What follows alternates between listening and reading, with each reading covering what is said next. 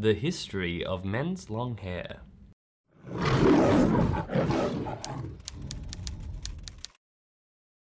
Hello hair growers and welcome back for another video. My name's Thomas if you're brand new and I make style and hair related videos every single week. So if that's your kind of thing, make sure you hit the subscribe button and hit the like button if you like what you see here today because it really, really helps with the YouTube algorithm. Now in today's video, we're taking a trip back in time and having a look at the history of men's long hair.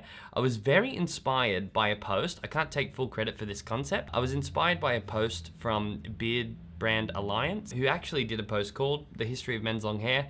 And I found it super, super interesting and it encouraged me to go and do a little bit more research on my own, just to have a look at where long hair came from for men and why it's gone in and out of fashion over the times. So what we're gonna do is we're gonna take a leap back and have a look at different points in time. I'm not gonna cover every single piece because if I did, this video would probably go for three weeks. So it's I'm just going to cut it down into the main points in time where long hair was really significant and just what I found super interesting about the whole thing. So let's get into that and we'll start from the very beginning. Let's start from the very beginning. It's a very good place to start. All right, so long hair from the beginning. Let's just go back to, well, from what I could find on the internet, where we first see men with long hair, and it's the cavemen, right? The cavemen that wear that Fred Flintstone outfit, carrying around a bone. no, uh, who knows if they even wore that? They probably wore nothing. But look, the main thing is with cavemen, when we think of one or any image that anybody's been given, they've always got long hair and a beard. Now, why is that? In my research and what I could put together is cavemen are like the epitome of what a human should live like. You know, like all they need to worry about is eat, sleep, shit, and grunt, have sex, and then repeat all over again, right? What doesn't sound appealing about that? You know, no going to work for money, just do whatever you want, right? Like that sounds great. No, but in essence, if you take away everything that society has built, also just making a disclaimer, this video isn't about bashing society and the damage it's caused to the world, because it has caused a lot of damage, but it's also done a lot of great things like YouTube and technology, all those things, they're great. If you take all the things that are in society, like equipment, clothes, the business corporate world, uh, beauty products. Like if you stripped a man of everything, he you, you're looking at a man exactly how he was designed, right? Naked, with a beard, and really long hair. So when we see that in their most natural form. A caveman wasn't born with a pair of scissors in his hands. The caveman wasn't born with a razor and shaving cream. It's how we're actually meant to look. And I did a video just before looking at the reasons why guys even grow their hair out. And what was really funny is a lot of the answers were to be free, to feel out of constraints of what people say they should. And this is what I'm saying. Society has kind of built this image around how men should look, which actually makes more sense when we get further in the timeline. A man is built literally to have long hair, and a beard. That's how we're designed to look. So if we look at it from the beginning, having long hair and a beard is more normal than wearing a bloody t-shirt. Like that's an odd concept to sort of think about, isn't it? Like, because a t-shirt is a plant that's been processed, then stitched together by someone who's very arty, then worn by somebody that's got the right body shape for that thing. It's completely engineered. And yet, long hair and beards is freaking out of the question for some people. You know what I mean? It's just so ridiculous. And somewhere along the line, this has been forgotten. And yeah, I just thought it was a really important thing to note is a man with long hair and a beard should not be looked at as scruffy. It is more normal than wearing a t-shirt, which is apparently normal and clean cut and whatever. Like, I just found that really interesting. So, but that's the first point we really see men in their true form okay? Then if we move a little bit further into timeline or human civilization, if you like, if we look at like ancient times, what was weird was all parts of the world have different ancient civilizations in different countries doing different things. And what was really interesting to me in my research that I found was all of these different communities didn't have the internet, so they weren't connected to each other. They all had long hair in their community on men, but long hair meant different things in all of those communities. So it's something that most ancient societies played around with, but they a didn't know that each other was doing it and they assigned a certain meaning to this for some reason if we look at ancient egypt so when i was doing research on this i was like oh that is so interesting so ancient egyptians back in their time were considered really stylish people. Long hair on men was normal, however, it was completely cosmetic and it was to change their look up. Not only did they wear long hair, but it wasn't actually their own. Most of the men would shave their hair, have a wig made, and then they would wear it for cosmetic purposes, right? Along with it being cosmetic as well for the Egyptians, it was also a way of keeping themselves clean and free of lice and things like that. And overall, just easier to maintain their actual body without needing to have the long hair with it. Because back then as well there wasn't all these facilities uh, to clean yourself. There wasn't shampoo that you could buy at woolies you know? Like uh, maintenance was a little bit more difficult. So they actually used to shave their head wear wigs and just use it as a cosmetic sort of thing and i thought that was really cool so the ancient Egyptians used long hair in that way. And I do have a couple of pictures on the blog. I wrote a blog post about this as well of ancient Egyptian wig and then a man wearing one. They were super, super cool. And then if we also like scroll along uh, the timeline at, well, in ancient times as well. So in ancient Rome, long curly hair was considered quite normal until this I found interesting as well. Julius Caesar came along and convinced people that having short hair was better because in battle it gave enemies less to grab onto. Now, the, the thing with Julius Caesar though is he was able to, one, get them to see the sense in that and then keep the trend going. So men started having their hair short all the time, not just for with battle. So thank God Julius Caesar isn't alive because if he was an influencer, we'd probably be at war. And if we were at war, we'd probably be losing because we didn't take the liberty of cutting our hair. and they'd be pulling it and grabbing it and we would definitely lose because they're smart. No. But yeah, I thought that was really interesting. So he was able to influence a whole nation and then neighboring nations were like, hey, that is a really good idea. Maybe we should cut our hair short. And I believe that's how they all started setting that trend and it becoming more normalized there. But then if we go over to like medieval Europe, things change again. So having long hair was only for rich people. Same thing with the Egyptians. It was because if you were a commoner and you didn't have much money, you didn't have the money to get the services that you needed to maintain it all and keep the hygiene healthy. Again, there was no like Dettol and no head and shoulders like available uh, around the corner you know you had to have money to maintain these things and because long hair as you probably know as a guy with long hair it is hard to maintain but thank god we get our hands on products very easily these days for very affordable prices and can maintain it back then they really didn't have an option. So if you had short hair, it was most likely you didn't have much money in the bank. And if you had long hair, you were lapping it up. That's a cool thought, isn't it? Like, I'd be considered rich right now if I was back in medieval Europe. If only that were true.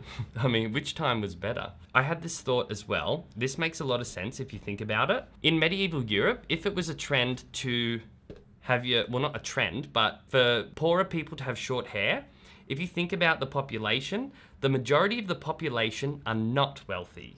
So there is a there is a chunk of the population that is wealthy. It is quite big. Majority of people that are walking around, they're not cashed up with millions of bucks in their pockets. And what does that mean? That means if we were to revert back to that time right now, most people would have short hair because most people didn't have a lot of money.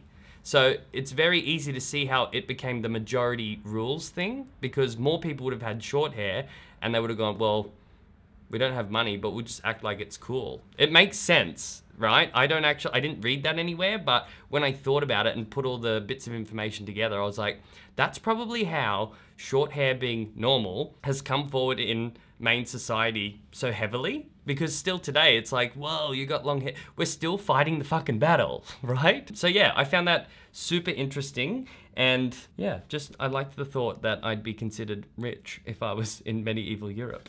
One day, one day. So that's a little bit about ancient civilizations. Again, as well, there were the Vikings who were these big beefy men that wore animal fur, had some big axe thing, wore braids, and it was a sign of beauty along with their beards and their braids. Uh, they looked very cool, and it was like meaty. It was like a scary thing to have long hair. So they were very cool. I, lo- I, I would have liked to live in that time, although I don't know if I would have been able to. No, I prefer today. So yeah, that's ancient civilizations. And then when I moved further along the timeline, I kind of went, where's the next most interesting thing that happened with long hair? After medieval and ancient times, we come into more developed civilization. So long hair started creeping in probably around the early 60s um, when the Beatles came out. They started wearing their shag mops and stuff like that. In the 70s, that's when it started like really hitting home. But what was happening is all these men were getting inspired to grow their hair longer because musicians that they looked up to were really inspired by it. There was also Bob Marley in this time who had long flowing dreadlocks. Dreadlocks were another cultural thing that you know, it happened all around the world, but it died off in certain places and it really rose in the reggae scene, which is why it's so Rasta and it got really adopted by those people. This is what I've read as well, by the way. I wasn't there to see it, but I've done research, okay? but yeah, the main point in this time, although in society people were like, uh, short hair's the way, people, or men in general, found following these artists and growing their hair long, A, gave them a sense of self and they also belonged to something that was different from what everyone else said. And the fact that these rock stars were so popular, no one could really argue the point with them that if they wanted long hair, they were going to have long hair. So that made it okay for everybody else to kind of do it. And not only that, there were other bands and stuff that were rocking mullets. So around this time too, like 60s, 70s, the mullet really came in. Horrid hairstyle. I even had a mullet in high school? Yeah, I think in year 10. The mullet was really in at that time, and so was the long hair beach bum look, so the blonde surfy hair. That was also prominent around this time. So the shag mop was going on. The Beatles, they ended up turning their shag mops into long flowing hair with beards. That's where that look came from, or they obviously took a leaf out of the caveman's book. yeah, they sort of really influenced it. It was really music orientated. That's where a lot of people started getting their fight back. It would have been an interesting time to be around because around that time as well, it just was a big no to have long hair as a guy. It was just like frowned upon. And again, going back to the caveman point, why was it frowned upon if you were born that way? Like, it's so weird. I just I just can't understand it. Leaving that period and jumping forward another 50 years, so long hair for men today, it is very, very, very apparent that long hair for men is coming back. Nearly every second guy I see these days has a man bun, which is epic, and I love that. So long hair has definitely reared its head again, but this time I think it's come back with more force than ever before. And the reason I think it's come back with more force than ever before is because of the internet and content like this. If we look back at the ancient civilizations, what was different is they were all doing their own thing. They were assigning long hair to men and having it a different meaning and you could only wear it if this or that or blah blah blah blah blah. And none of these societies were connected, so they couldn't keep up with each other. But now, with the internet and how everything sort of unfolded and evolved, we're always connected to each other at all different times, and people can join different communities or different nations, if you like, from sitting in their living room with one click of a button. So the trend almost can never really die anymore. As long as there's people that are willing to go and support those groups and networks and societies, I guess, in the modern day, I really, really don't think it's an option for long hair to go out of fashion again, if you know what I mean. Because we're all too connected, and with influencers as well, that Thomas in Action guy, and I'm like, now there's lots of influencers out there that now they do their own styles. That it's all about individual. We're in a time of individuality where people express who they are and how they see the world and how they want to look. And we all draw inspo from each other. So if you have a look at other Instagrammers that have long hair as well, you'll notice that they all, some wear them really straight, some wear wavy, some wear really tight curls, but we all have long hair in common and we don't have any limitation on our physical environment of who we can go and hang out with, if you know what I mean. So you're hanging out with me here and I'm filming this in Australia, you know? But I can connect with people that are in Egypt and Europe and America about the one topic and we can keep it relevant. I just think social media is the mouthpiece to keep it going forever. I don't think it's going to die. That's my hint on it anyway. So I think it's got a lot of longevity and I'm here for the long term as well. I'm gonna keep growing my hair until it hits my bloody butt. I think it's really, really cool to be a man in today's society with I mean, everything's getting accepted and more normalized. So long hair is cool. Um, being gay is cool. Being colored is cool. Everything's cool now, you know? And everyone's so much more accepting. There is still a lot of hate out there. But the cool thing about the internet as well is you can build communities like the Man Buns and Manes community where you have a safe space to go all the time, at any time, as long as you've got a device and an internet connection. Happy days. Be who you want to be. Be free. Because right now we can. I think that's something to definitely appreciate. And that brings me to the end of today's history lesson. I could have talked way more about all the other different points in time, but I think Kim just told me that we're up to like 19 minutes on this video, and if I kept talking about it, it'd be crazy. So I just wanted to sort of highlight the most like dominant points in history where we saw long hair and how it's gone in and out. So I hope you found that as interesting as I did because yeah, when I was reading about it, I was like, oh, wow, uh, we really do live in the best time ever to do whatever you want. So why not enjoy it while we've got it? I mean, according to Greta Thunberg, if we don't sort our shit out in 10 years, we're all gonna be dead anyway, so we may as well enjoy it now. So I hope you enjoyed this video. Thank you Beardbrand Alliance for uh, giving me this video idea. I really love your shit. He's got a very nice beard and very beautiful long salt and pepper hair. love him. If you haven't already gone and followed the Man Buns and Manes Instagram, please make sure you do that. I'm trying to grow that community. That is also another sort of stronghold for long hair promotion. I want to feature as many of you as I possibly can on there because this is what I mean. We're in that time where we can all be connected and that Instagram page is a great one. If you want to read more about the history of long, men's long hair, I have done a blog post about that as well and left it in the description box. If you want to join the Man Buns and Manes hair growth community, there is a link to that in the description box as well. And please leave me a comment with what you thought and a thumbs up because you know it helps me in the algorithm. All right, guys, I'll catch you later and have a good one. And I hope you enjoy the rest of your week. Bye.